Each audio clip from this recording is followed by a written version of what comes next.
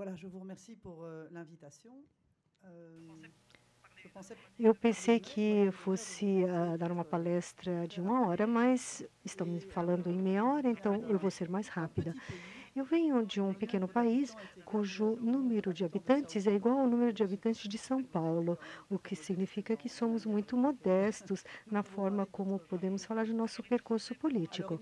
Me pareceu importante poder abordar dois assuntos, dois temas que são de uma importância maior politicamente em todos os continentes, eh, no nível internacional, eh, são a imigração e a integração, que elas estão intimamente ligadas. E por que esses temas? Porque, por enquanto, estamos em 2016, no nível internacional, eh, nos deparamos de, a, com uma situação que, pela primeira vez desde a Segunda Guerra Mundial, eh, apresenta mais de 700 milhões de pessoas deslocadas, 13 milhões de aumento nos dois últimos anos e essencialmente ligado ao problema dos conflitos uh, no Oriente Médio. Com isso, é claro, existe toda uma pressão demográfica e também uh, econômica que provém da África e da Europa também, por razões que estão ligadas, às vezes, a alguns movimentos radicais, mas principalmente ligadas a questões econômicas. E, por outro lado, como todos sabem, nós estamos numa situação de globalização, de internacionalização, e que para todos deve se realizar no nível dos capitais, no nível econômico, no nível digital, mas quando se trata de pessoas humanas e de mobilidade humana, é claro que, que vemos barreiras muito maiores e mentalidades que nem sempre evoluem. Por enquanto, e na primeira parte da minha apresentação, eu vou falar de uma situação realmente difícil e pesada na Europa em termos de pressão migratória, que acarreta uma série de problemas políticos evolução dos populismos, e isso tem uma influência muito importante na governança, por enquanto, no nível europeu.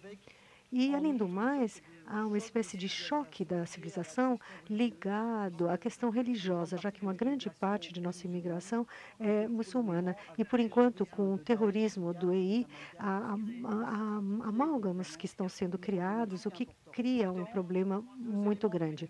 Portanto, dois elementos muito importantes, a meu ver, é, penso que a imigração é a história da humanidade. Não houve nenhuma civilização que se fez sem imigração, começando pela própria Europa, que tem uma política migratória talvez um pouco autoritária, mas, contudo, pensar que um país, uma comunidade possa é, permanecer homogênea durante muito tempo é, infelizmente, é o que pensa uma grande parte da população.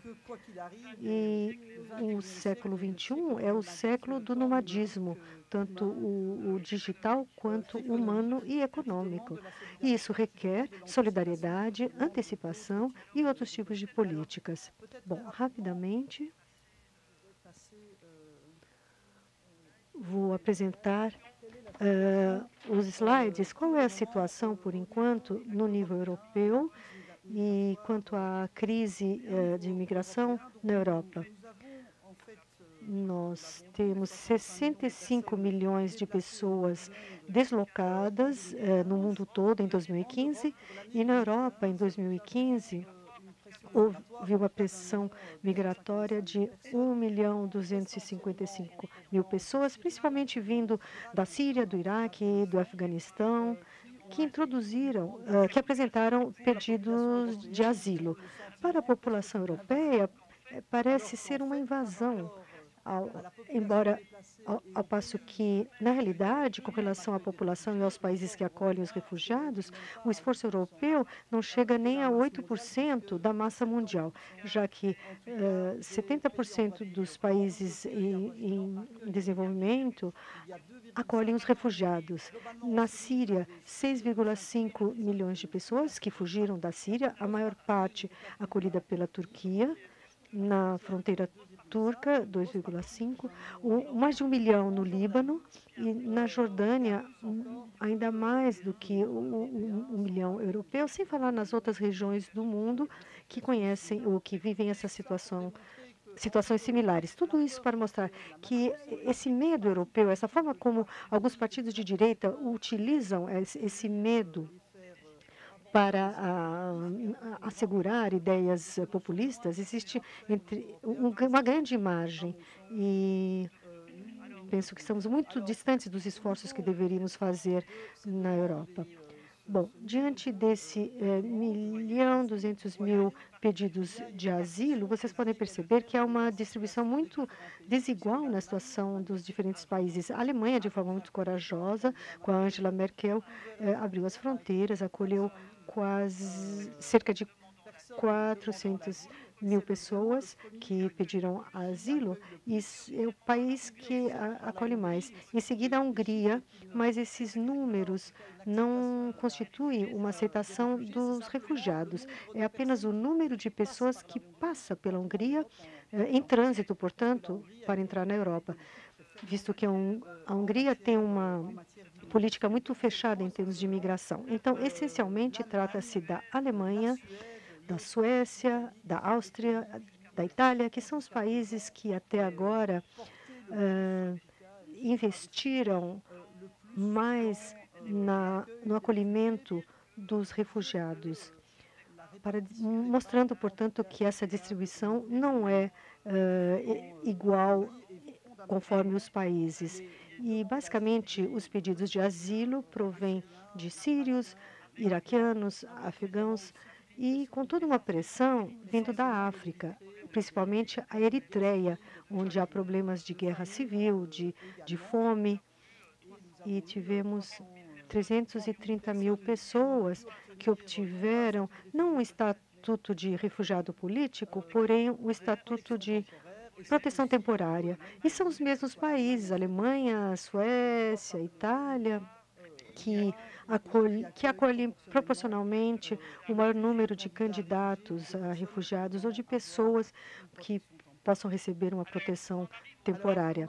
Bom, então chegamos agora ao drama que, infelizmente, não é suficientemente conhecido do, Mediter do Mediterrâneo, por enquanto. Desde setembro de 2001, vimos o drama da morte de 3 mil americanos uh, com o desmoronamento das torres e em 2015 3 mil mortos no mar Mediterrâneo, o mesmo número de vítimas, pessoas que fogem da Síria uh, tentam chegar à Itália, à costa italiana ou à costa grega, uh, pessoas que vêm da Líbia, do norte da África, para tentar entrar na Europa, com centenas de crianças que morreram no mar Mediterrâneo o que dá uma ideia do drama humano que nós estamos uh, assistindo atualmente. E quando falo de 1 milhão e 200, 200 mil pessoas,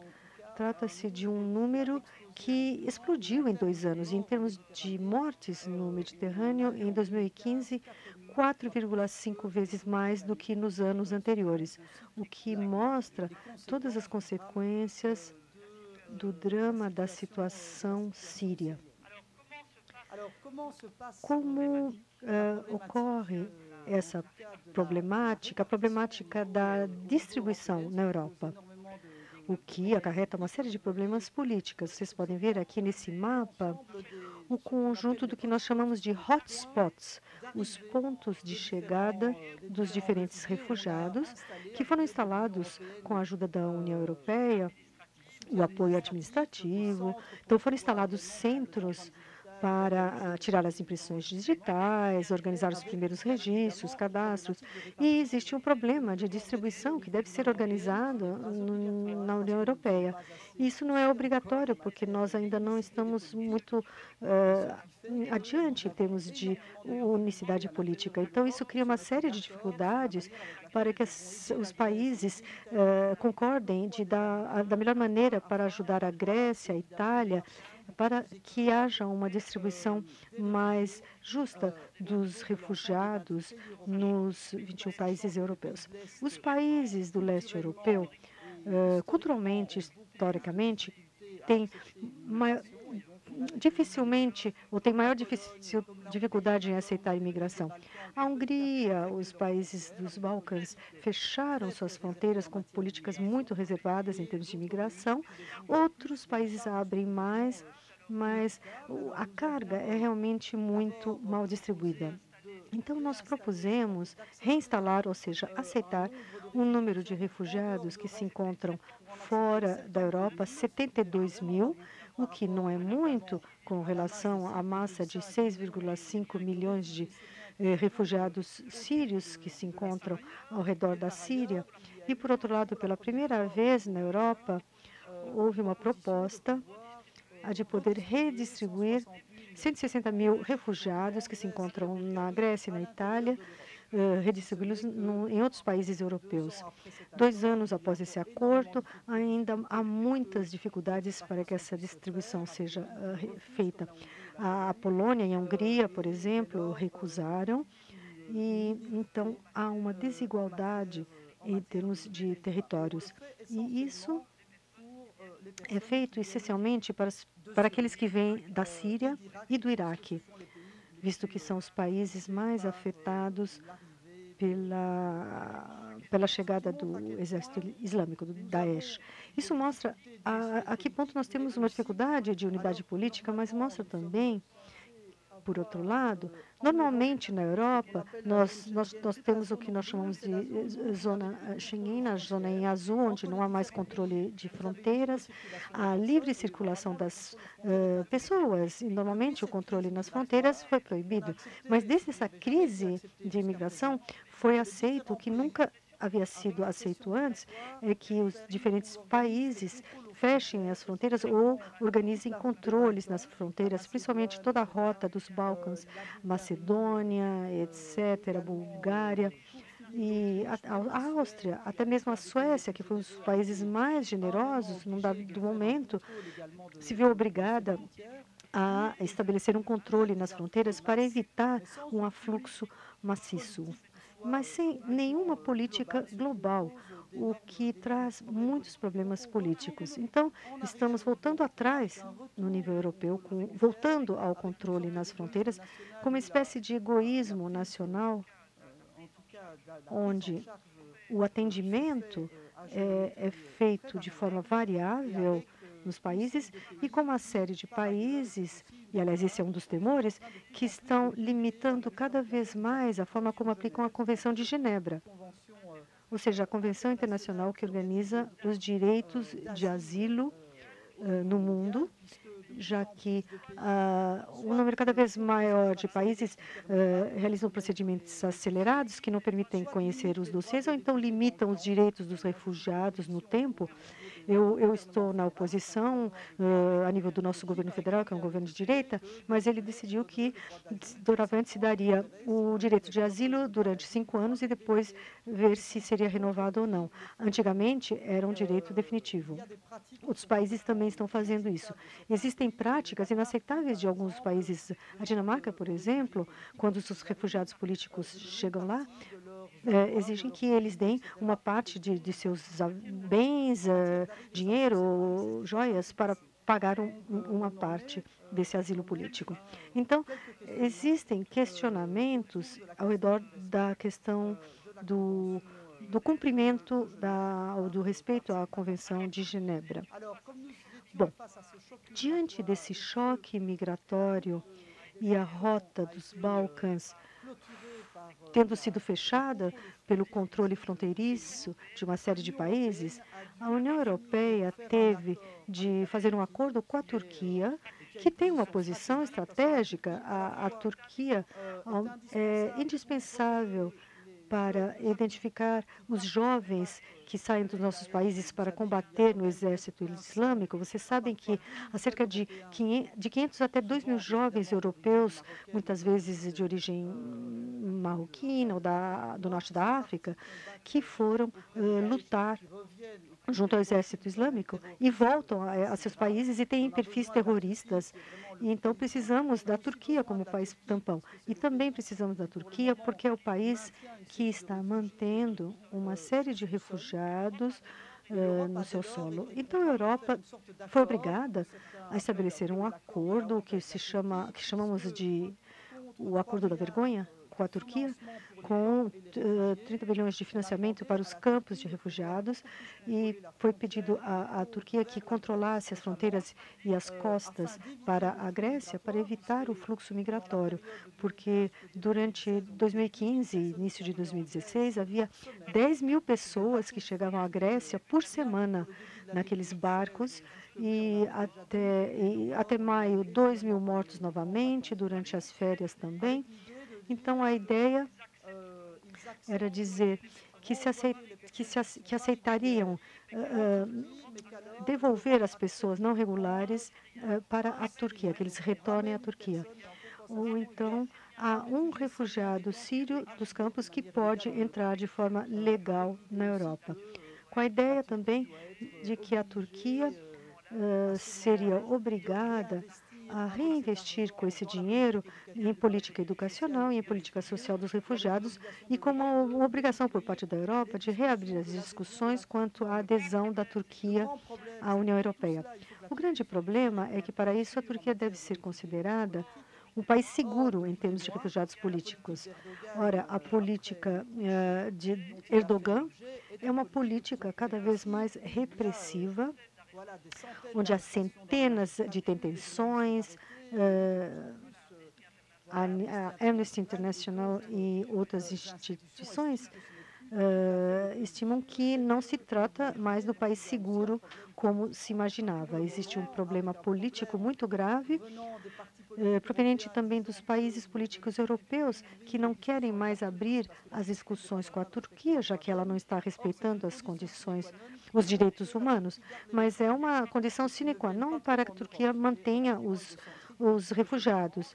Então, por enquanto, há dois ou três dias, o primeiro-ministro turco disse, novamente, se vocês não abrirem, não reabrirem as, os debates, as discussões sobre a adesão da Turquia à União Europeia, eu vou mandar de volta os refugiados. Vocês podem ver o nível de discussão.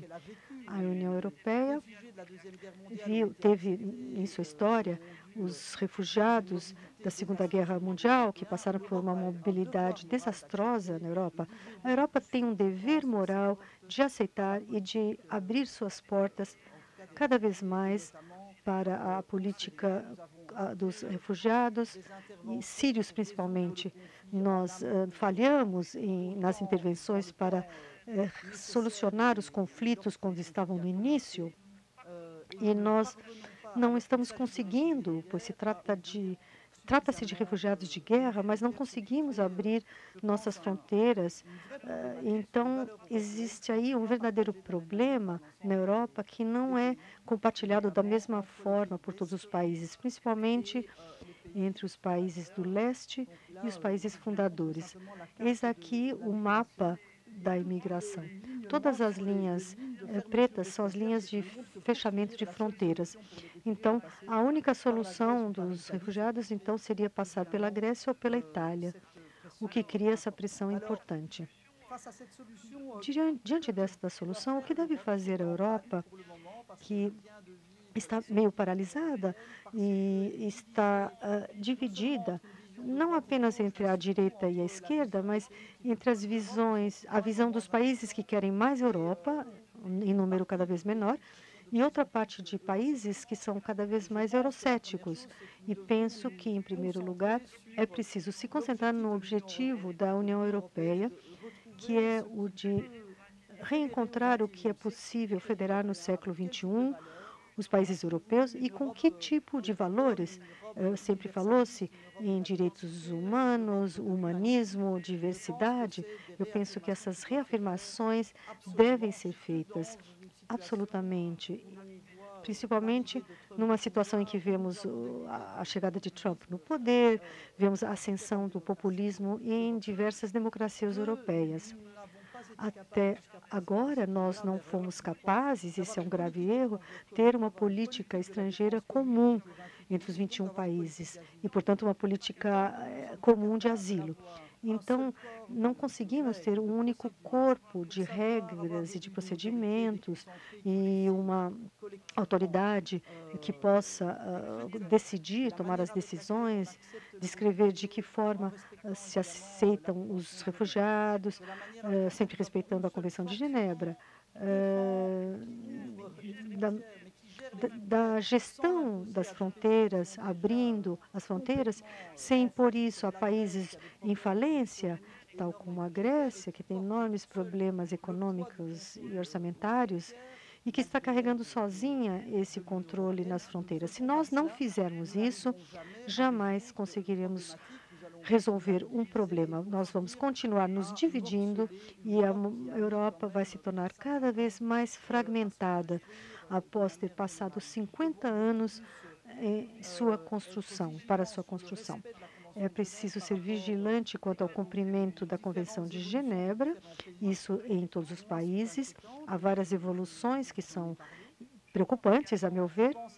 Como eu já disse aqui, penso que devemos ter uma política comum de distribuição. Até então, a regra na Europa era o país uh, de chegada é aquele que deveria uh, regular e acolher o refugiado, o que dava uma carga muito excessiva a, para a Grécia e para a Itália. Então, essa distribuição tem de ser obrigatória e não voluntária, com critérios claros e tentando obter um acordo político neste ponto.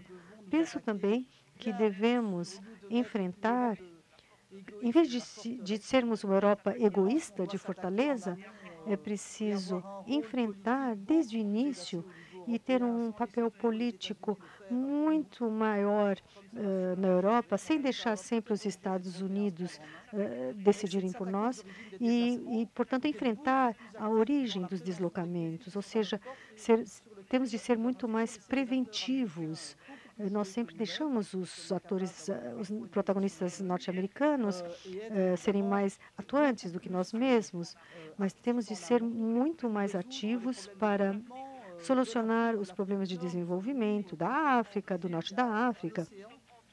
Contrariamente ao Brasil, que tem um oceano, nós estamos muito próximos a Europa é muito próxima de um continente que tem um crescimento econômico muito baixo, com uma juventude desesperada, e tem, sentem uma pressão para em questão de, é uma questão de sobrevivência e eles têm esse sonho de ir para a Europa. Então, nós devemos massificar nossa política de desenvolvimento de maneira única para evitar esse afluxo de pessoas.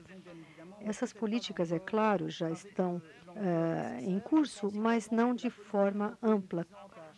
Então, a ter uma política de migração muito fechada, ou de migração econômica muito fechada, contrariamente ao Canadá, o Brasil ou outros países, é um erro, pois isso força uma criminalidade, que são aqueles passadores, maior, os passadores, os refugiados, é, com eles circulam é, milhões de, de sim, muito, muito dinheiro. E se teríamos que ter uma política de imigração muito mais refletida no nível europeu e muito mais aberta com relação às necessidades demográficas que temos, pois a população da Europa está envelhecendo cada vez mais, com os encargos para a previdência social cada vez maiores, uma diminuição da taxa de natalidade. Então, perante a opinião pública que tem medo dos refugiados, porque, infelizmente, nos atentados eh, encontramos passaportes de refugiados, uh, portanto, nos ataques suicidas. Então, faz-se uma mistura entre os refugiados e os terroristas. Temos de desmentir isso, mas também temos de ousar ter um discurso econômico a respeito da imigração. Para aqueles que não são generosos, aqueles que têm medo, temos Após ver todas as análises do FMI, do PNUD, do OCDE, da OCDE, seja através dos picos de migração, seja por ter migrações lentas, sempre houve um efeito positivo no final das contas, quer nos salários das pessoas uh, originárias do país, porque o refugiado ou o imigrante acaba aceitando cargos que não são um, aceitos pelos, uh, pelos, pelos nativos, entre aspas.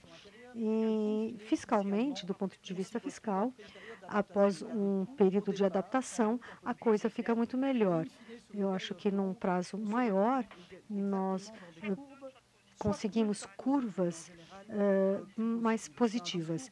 Este é um discurso que nós devemos manter e transmitir para abrir a, a, mente de nossos cidadãos e evitar esse recuo, eh, essa, esse medo, eh, esse medo do estrangeiro e que nós estamos vivendo por enquanto. Não sei quanto tempo me resta.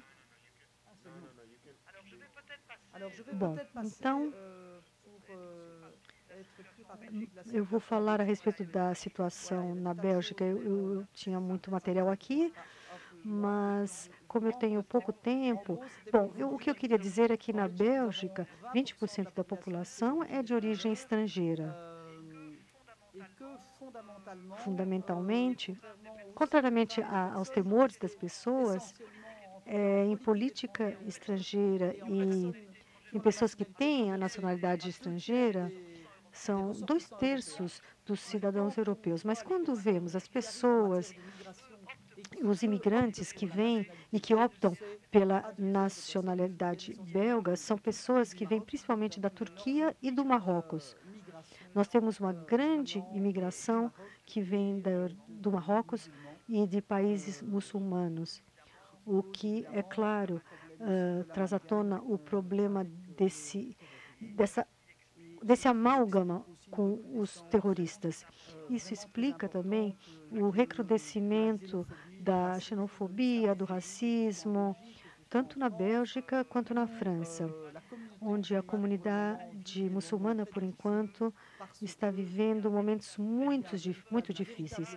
Existe um medo enorme eh, de atentados, uma confusão entre o extremismo do EI e o extremismo, extremismo de, e, e, o, e, a religião muçulmana, com de, discussões sobre os véus e ações que são cada vez mais uh, frequentes e nem sempre condenadas, infelizmente, por determinados países. Então, o clima está bastante difícil.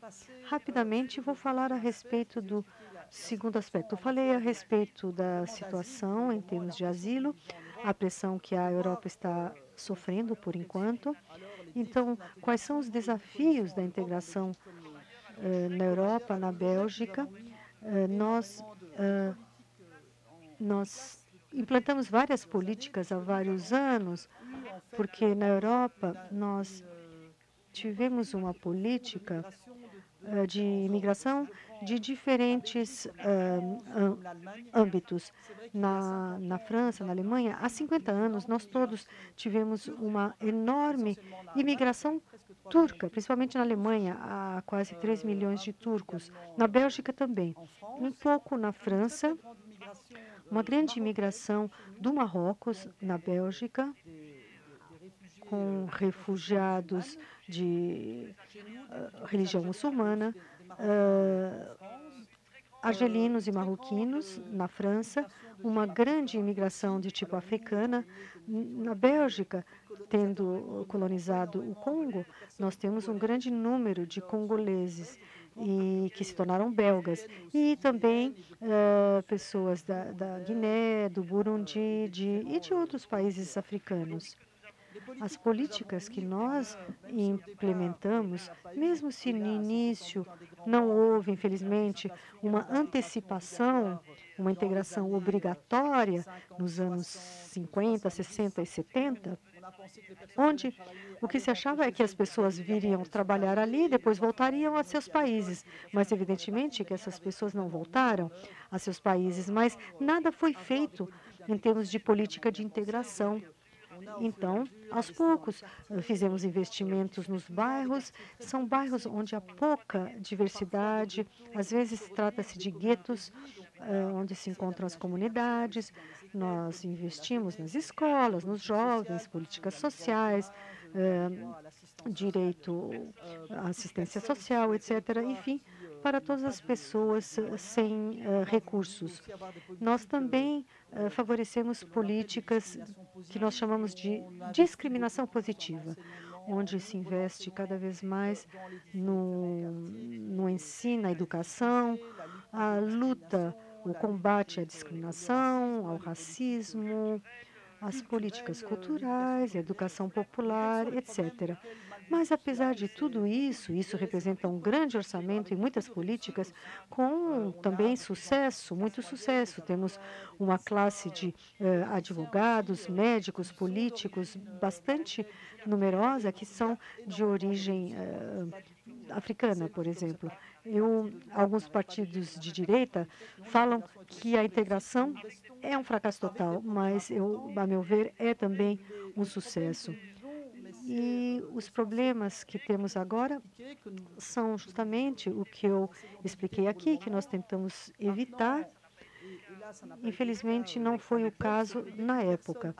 A partir do momento em que uma, uma pessoa entra na Bélgica, existe um programa, como o Canadá já faz há muito tempo, um programa de atendimento dessas pessoas, onde se ensinam a língua. Muitas vezes, uh, mulheres de origem turca ainda não falam uh, francesa, porque elas permanecem em sua comunidade e assistem à televisão turca. Então, nós implantamos percursos de educação obrigatórios no sentido de antecipar políticas de acolhimento. Também oferecemos cursos de cidadania sobre valores, instituições, etc. Estes dois pontos são importantes. Também tivemos muitos efeitos perversos de uma política de uh, sobreposição familiar, principalmente nas uh, famílias marroquinas ou da África do Norte, a cada uh, geração, a pessoa que mora na Europa vai buscar o marido ou a mulher na, em seu país de origem. Então, a impressão é que temos que toda vez recomeçar, porque o, o cônjuge vem e temos de recomeçar tudo, ensinar tudo. Então, uh, em vez de termos uma evolução da terceira, quarta geração, vemos uh, a mesma problemática. Então, é, esta política de controle familiar, familiar é talvez muito severa, mas é que isso às vezes nos impediu poder trabalhar durante cerca de 30 anos a questão da evolução das famílias. Temos um grande problema com relação à diversidade nas escolas. 95% de pessoas da mesma origem se encontram nas escolas e isso não cria a inserção social e as relações sociais. Isso cria também problemas de atrasos na escola, e isso, para mim, é um dos pontos mais essenciais. Há poucos meses, eu ainda era ministra da, do ensino, então, da educação, então estamos realizando muitos esforços nesse sentido. Temos também muitos problemas de discriminação na contratação. Quando a pessoa se chama Mohamed e tem uma, uma foto com determinado tipo físico, mesmo se essa pessoa tiver o mesmo diploma, mesmo mesma experiência, existe uma discriminação na contratação que às vezes é voluntária. Isso representa um problema enorme para os jovens que tanto se esforçam para se formar e que acabam, 50 anos depois da chegada dos pais, acabam, permanecem sendo cidadãos de segunda classe, de segunda ordem. E isso uh, precipitou, em parte, é claro que houve outras razões, mas isso precipitou, uh, de certa forma, também o radicalismo. Também temos problemas de racismo e o problema mais importante que enfrentamos agora, e eu mesma como ministra do Interior tive que enfrentar esse problema. Há três ou quatro anos que vemos esse problema de radicalização. Na Bélgica, na França, na Alemanha, em todos os países europeus, de repente esses jovens que nasceram em nossos países, que frequentaram as, as escolas de nossos países e que provêm de famílias que não são radicais, as, as mães não, não usam véu, são mulheres que trabalham, e de repente esses jovens, num dado momento, dentro de um fenômeno uh, de mal-estar e também sectário, ligado à, atração do, pelo discurso extremista religioso do exército islâmico, jovens que mudaram, então, e entraram uh, nesses movimentos radicais. Foram para a Síria e para um pequeno país como a Bélgica, Bruxelas, por exemplo, onde há 1 milhão e 200 mil habitantes, tivemos uh, 200, e 300, 200 a 300 pessoas, jovens, que saíram de lá.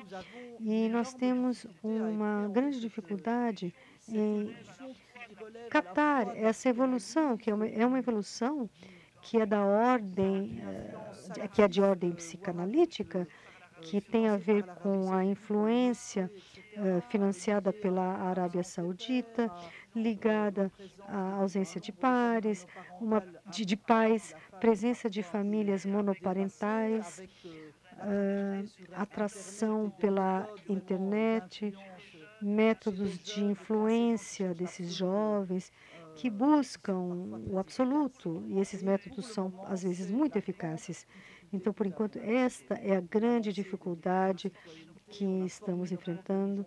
Nós formamos professores de religião muçulmana, nós pesquisamos muito na internet, mas, principalmente com as redes sociais, há discursos que nós não conseguimos eliminar. Isso eles influenciam os jovens muito rapidamente. Essa é uma das maiores dificuldades com relação a, aceitar na Europa uma raiz cristã. Num dado momento, a inserção do Islã, temos 400 mil muçulmanos na Bélgica, há mais de 5, 6 milhões de muçulmanos na Europa. Então, ah, está se tornando uma religião europeia e ela evoluiu com influências estrangeiras. O Islã Malikite, que vem do Marrocos, é bem moderado, mas sofreu influências que perverteram o discurso. Temos também a influência da mídia da de Al Jazeera, que importa importam os conflitos do Oriente Médio, a questão do conflito entre Israel, Israel e os palestinos, toda a história do Islã a respeito dos valores religiosos. Enfim, por enquanto, penso que esse é um dos maiores vetores de dificuldades é, entre os jovens de origem muçulmana. Em Bruxelas, representam mais de 50% da população. Então, existe uma espécie de recuo, de fechamento das comunidades, Uh, também a, a, a, política penitenciária não permite uma reinserção, acaba reforçando a revolta. Bem, eis, portanto, as diferentes problemáticas com as quais nos deparamos. E, para concluir, eu gostaria de apresentar algumas soluções. Por enquanto, na Europa, assim como nos Estados Unidos, com relação à problemática da diversidade, voltou um discurso muito fechado, onde se exalta a homogeneidade, coisa que não será jamais possível numa democracia ou num mundo do século XXI. Temos de fazer o luto disso. Mas a diversidade é a evolução da sociedade de amanhã. Portanto, é uma oportunidade, não é um futuro. Uh, temos de, de, ter uma outra abordagem, uma outra visão. Eu não sou.